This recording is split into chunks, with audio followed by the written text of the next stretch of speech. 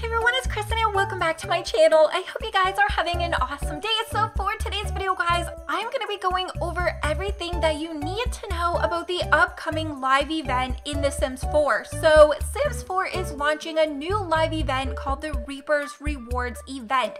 So in this event, you're going to be working with the Grim to discover the secrets of Ambrosia, earn event points, and of course, unlock those rewards. So the description of this event says to get ready for a free limited time event where you'll need to venture into live mode. The Grim Reaper is reaching out to you, but don't be afraid to answer since it seems Grim wants your help. And the best part, you'll be rewarded for your efforts throughout the event, with one being a brand new lot challenge, the Scare Seeker, where Sims will get excited instead of scared to go onto the lot. Right, so you can see in the picture a bunch of the rewards that you will be unlocking as you complete the quest below, which will award you with those points as you complete it, getting those in-game rewards. So this is going to be the only way to get those items.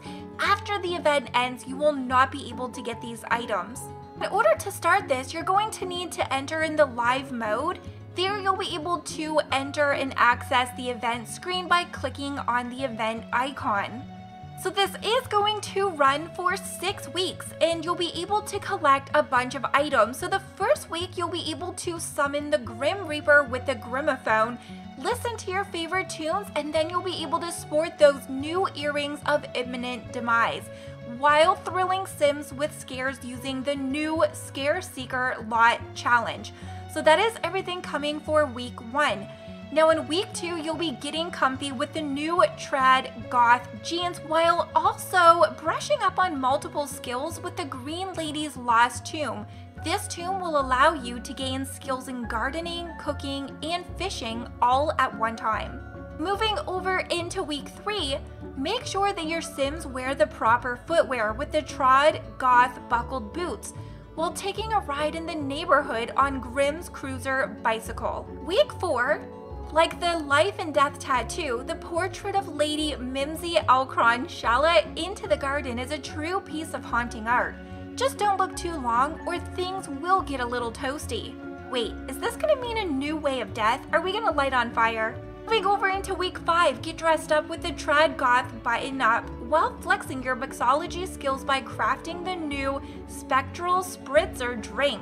This drink will turn your sim into a temporary ghost. Week 6, your sim has bags under the new Prowling Peeper eyes.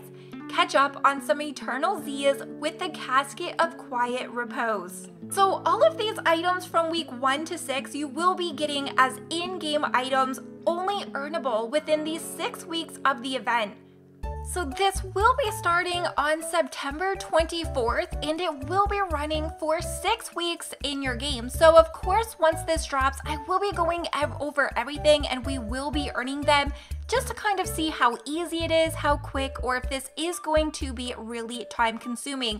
To be honest, I've actually never really worked that much with the Ambrosia, so one of the things I am going to like about this event is kind of making me dive into parts of the game that I don't necessarily go to. I most likely will be creating a new household so that I can complete this event separately just to kind of keep track and start from scratch. So let me know if you guys want to see more about this event when it drops and which item are you most excited to get your hands on.